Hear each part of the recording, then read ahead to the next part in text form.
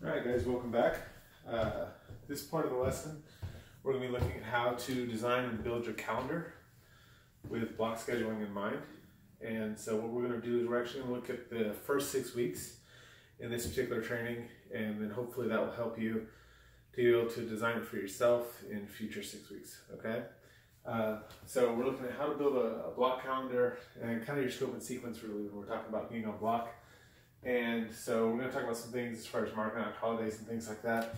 What you're going to want to do first is you're going to want to create a six week uh, block of time, a six week calendar. Kind of divide your weeks up. Notice I drew squiggly lines because I can't draw a straight line. If you do this on a computer, obviously a little easier, but for the board today, I just kind of drew the squiggly lines. And that way I don't get fussed at for not being straight. So what I've done though is I've started the first day of school for us is going to be August 17th of next year. And so that's my first week. And notice how it's kind of wide right here, that's because I have my A day and my B day, um, which would really be periods one through eight, and they're included kind of all in that section. So when you make your calendar, it's gonna look a little weird, all right? So Monday and Tuesday is all one day, so it's gonna be one lesson topic, if you will, for those classes. And then Tuesday, or sorry, Wednesday, Thursday is all one lesson. And then notice I have Friday here, it's kind of small, and Monday because they go together. And what I've done, everybody's kind of different, but my suggestion is I put the dates for the what I call the A days. That's going to be your first day of the block. And so I just put the dates for all my A days. Notice we have Labor Day here, September 7th, no school that day. And so this is kind of something that's interesting for block. We had Friday was an A day here on September 4th. Then we miss Monday. Well, it doesn't mean we miss an A day. Or I'm sorry, it doesn't mean we miss a B day. It just means that that Tuesday would be a B day instead of that Monday, okay? So this is kind of what the first six weeks would look like. You got 17th, 19th, 21st, that first week. Uh, that's our social emotional learning for those of y'all that don't remember, or maybe you're new. That first week is going to be kind of going through and getting to know the kids and kind of that kind of stuff. Uh, also, because they're moving around classes, things like that. So, you're going to want to design your calendar with the, the dates blocked out like that, something like that. And obviously, you can use Excel, you can use whatever program you want to use, you can do it in Word, uh, or, or you can do it on the board. I have this in my classroom all year long look something similar to this so the kids can see it and see what their assignments and things like that are going to be, okay? So you're going to block out your calendars, you're, or sorry, you're going to mark out your holidays, you're going to put your days into pairs. So, like I said, 17, 18 together, 19, 20 together. You're going to label any known interruptions. All right, now first six weeks, we don't actually have a lot. The first week, we're going to have the social emotional learning, um, but that's not really an interruption that's planned for. When I say interruptions, I, and I don't mean interruptions in a bad way, but I mean like PSATs, pep rallies, things like that. Things that you know the kids aren't necessarily going to be active. If you know everybody is, let's say it's the SAT day for your school that day, or if they're STAAR testing, that's you would want to block those out first before you plan anything else. Then you want to map out the six weeks scope and sequence onto your calendar, and that's where the work is going to come. This is this is where the hard part comes in. Okay, and you're going to want to make sure you include times for testing if needed um, depending on if you have benchmarks or district tests or school associated tests that maybe your uh, administration is wanting you to do, things like that. You want to make sure that's on there. And just remember, one block equals two days worth of lessons, okay?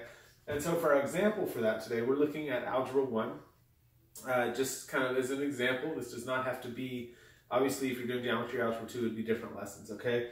Uh, and what I'm going to use to do that, I have printed out, and you can always just pull up the computer. This is the district's 2021 calendar.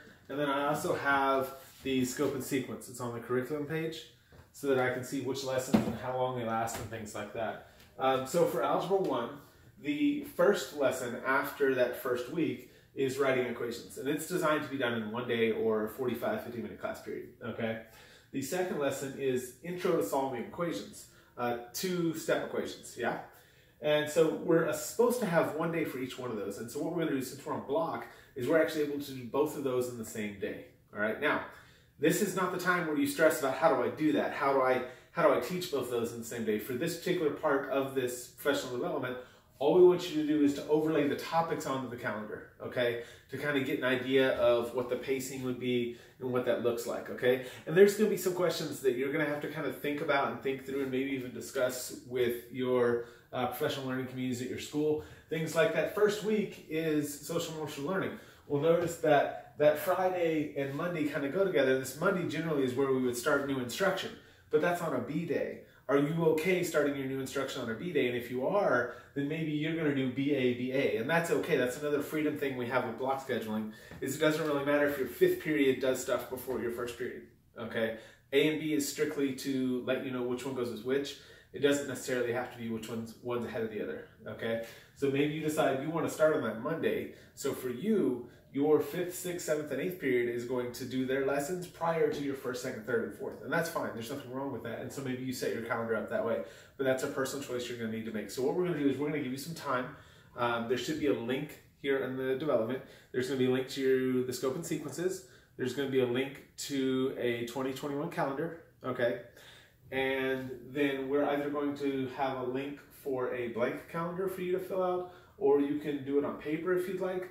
Uh, but we are going to ask you to upload that as far as a finished work so we can see that you've done that. All right. I have found that planning a six weeks at a time, or at least mapping out your lessons a six weeks at a time, will make you much more efficient when it comes to covering all the material. Okay, and making sure you don't get too far behind. All right. Um, okay. So, and again, good luck. And if you have any questions, hopefully they'll get answered. Thank you.